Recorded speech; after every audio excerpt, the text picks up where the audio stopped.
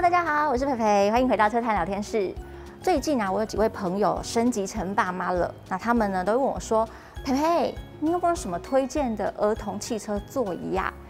嗯，当然呢，我是台湾好媳妇。虽然说我没有小孩，但是呢，我也是收集了不少问题哦，像是呢，儿童汽车座椅它的安全性啊，或是说汽车座椅到底舒不舒服、好不好装等等。今天我也要来帮大家体验一下。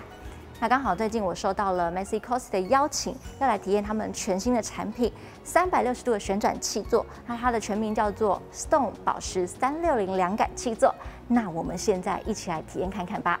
那为什么小朋友需要做气座呢？其实除了法规的关系，安全性才是最重要的。或许有人会说啊，其实小朋友就给妈妈抱就好啦。但是你看一下国外的撞击测试影片，嗯。而且呢，小朋友的头部、颈部其实非常脆弱，就算它不是大力的撞击，只要一个紧急刹车，都有可能发生遗憾。所以气座的钱真的不能省啊！那或许有很多朋友会说啊，那气座款式这么多，到底要怎么挑呢？其实除了品牌之外啊，款式也很重要。因为呢，不同的款式对应到的就是不同的年龄，而 Massey Cosi 它大多的产品呢都延续了欧洲的观念，它是以零到四岁、三点五到十二岁作为区分，而我们今天呢要体验的 Stone 呢，它就是零到四岁的新生儿成长型座椅，只要身高没有超过一百零五公分哦，都可以继续乘坐哦，让宝宝呢在不同的成长阶段都可以做到符合身形的座椅。而在安全性的部分，相信也是各位爸比妈咪很在意的哦。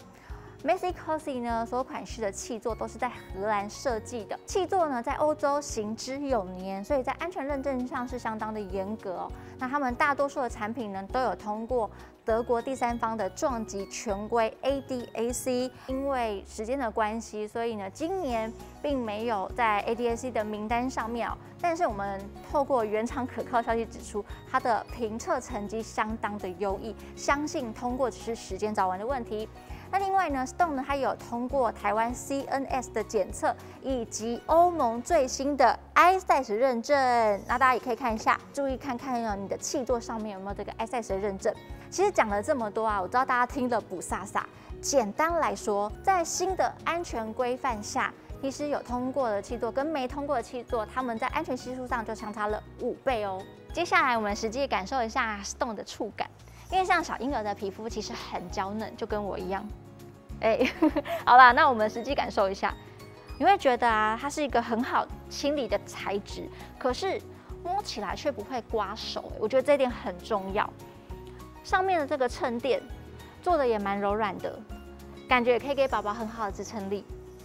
然后我觉得啊，最重要的应该就是背部吧，因为像我自己就很会流汗。那何况是新生儿宝宝，其实他们呢，长时间坐在这种汽车座椅里面啊，难免也会起湿疹，所以透气度很重要。那这张 Stone 座椅呢，它有一个专利设计哦，叫做 Climate Flow，其实它就是坐在它的背面这边，有没有肉眼可见的透气？它包含背板都有做一个透气层。那再来啊，这张座椅它还有一个专利的设计，因为像在车祸当中啊，我觉得最危险的就是侧撞了。那这张座椅啊，它其实有一个专利的设计，叫做 G Cell 蜂巢式的防撞设计，它是以六角形处理，那它可以平均分散冲击的力道哦。那其实不是只有肉眼看到的这边而已，它是整张座椅的气座结构都是有这个防撞设计的。讲了这么多，我相信各位白云妈咪也很想知道这张到底到底好不好装，那我们也实际装给各位白云妈咪看吧。我们现在来到室外试装这台 Stone 的儿童气座啦，那我现在试装看看。哎，不对啊，哪有人生完自己装的啊？当然是要叫老公来啊！阿公，可以帮我安装一下吗？拜托，谢谢。哇，baby 好可爱哦！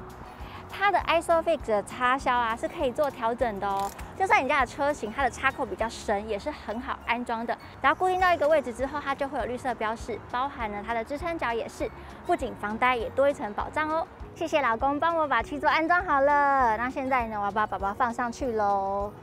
宝宝好轻哦，不知道真实的新生儿是不是也是这个样子？好，那我们现在呢，先将宝宝把安全带拉好。那安全带的部分啊，可以从这边开始调。但我发现它的安全带其实是立起来的嘛，这是它的专利，叫做 Easy In 的设计。我自己蛮喜欢这样的设计的，因为你放宝宝的时候啊，如果安全带压在下面，其实你会手忙脚乱。那它这样立起来呢，我就会比较好放宝宝。那我们现在帮宝宝把安全带系上，把你手手伸出来。好像我因为第一次把宝宝放在气座嘛，所以感觉起来手忙脚乱的。熟悉一下应该就还好。好，那接下来我们把安全带拉紧。好，你应该不会太紧吧？那记得帮宝宝留大概一个手指头距离哦，坐起来会比较舒适。这台 Stone 呢，它的亮点就是三百六十度旋转。那这个功能很简单，这里有个把手，我们来实际压压看，哎，很顺呢。好，这边侧向，哎，都有顿点的，还不错。那这边呢，我也调整成反向喽，因为新生儿的脖子比较脆弱，所以法规有强制规定。两岁以下一定要反向乘坐，而且反向乘坐的时间越久越好。而 Stone 呢，它座椅的规格其实甚至超越了法规，它可以乘坐到四岁。那另外呢，大家也可以看到，如果是正向乘坐的话呢，很有可能因为你紧急刹车边甩，造成新生儿的危险。所以大家记得，两岁以下一定要反向乘坐。那接下来我们要怎么调整宝宝的倾斜角度呢？其实它这张座椅很方便哦，很直觉。它最躺可以到达一百五十度，它是四面最躺。同时啊，也可以依照宝宝身高来调整椅背的高度，它总共有七段可以做调整。那针对新生儿啊，其实 Macy Cosi 啊也非常的贴心，它有新生儿衬垫。那这个新生儿衬垫同样也是可以保护宝宝的颈部、头部，让它包覆力更好。左右两侧呢有高吸震的 EPS 的记忆头枕，除了更包之外啊，因为当撞击来临的时候。它的这块新生儿衬垫跟它的专利 GCL 的技术呢，可以形成三层防护，让宝宝坐得更舒适之外，同时也更安全哦。好啦，我也体验完 Stone 宝石三六零凉感器座了，来跟大家分享一下我的心得好了。其实我觉得它真的是一张很贴心的儿童起座，虽然说价钱比较高，毕竟一分钱一分货，不管是安全性上啊，还是设计上，我都感受到它的用心。再加上我觉得它售后服务其实蛮强的，它提供了五年保固啊，出出事故的话呢，也可以免费换新，但仅限于台湾总代理购买哦。